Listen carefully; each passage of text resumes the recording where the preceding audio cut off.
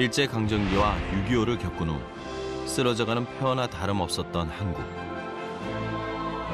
절망을 극복하고 세계가 놀랄 눈부신 경제 성장을 이루어냈는데요.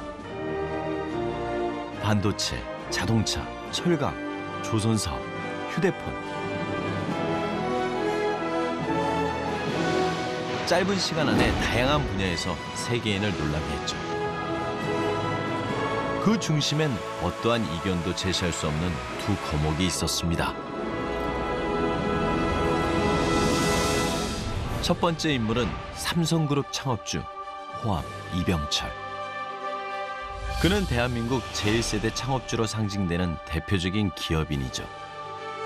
이른이 넘은 나이에 반도체 개발에 도전했는데요.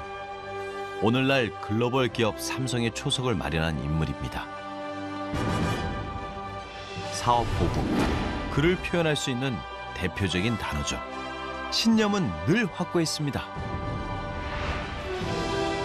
국가적 필요성이 무엇이냐? 국민의 이해가 어떻게 되느냐? 세계 시장에서 경쟁할 수 있느냐? 기업가 정신은 도전과 노력 정신이냐? 누가 말해도 환경이 나빠져도 계속 선구적으로 신기축을 열어가는 것이지. 그리고 이 기업인도 빼놓을 수 없습니다. 현대그룹 창업주 아산 정주. 그 역시 대한민국 대표 1세대 기업인이죠. 무에서 유를 창조한 시대 개척자인데요. 그가 남긴 유명한 말이 있습니다. 불가능해 보인다고 해보기는 했어? 그의 도전 정신은 대한민국의 자동차와 배를 전 세계로 뛰어들게 했습니다. 모두가 만류했던 사업. 불가능해 보이는 것을 해낼 수 있었던 첫 시작은 도전이었습니다. 길을 모르면 길을 찾고 길이 없으면 길을 닦아야지. 누구든지 신념에 도전을 더하면 뭐든지 해낼 수 있는 거야.